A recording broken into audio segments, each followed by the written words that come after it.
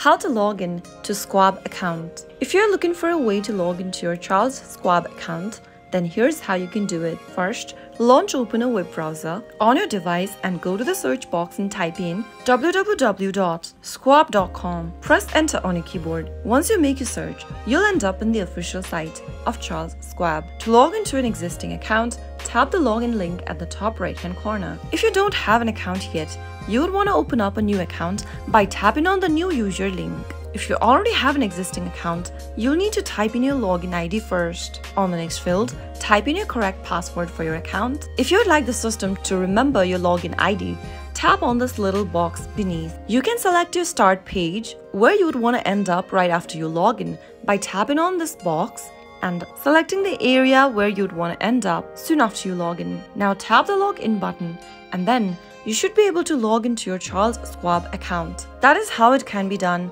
If the video was helpful to you, go ahead and give us a thumbs up. Also, don't forget to subscribe to our channel by hitting the subscribe button.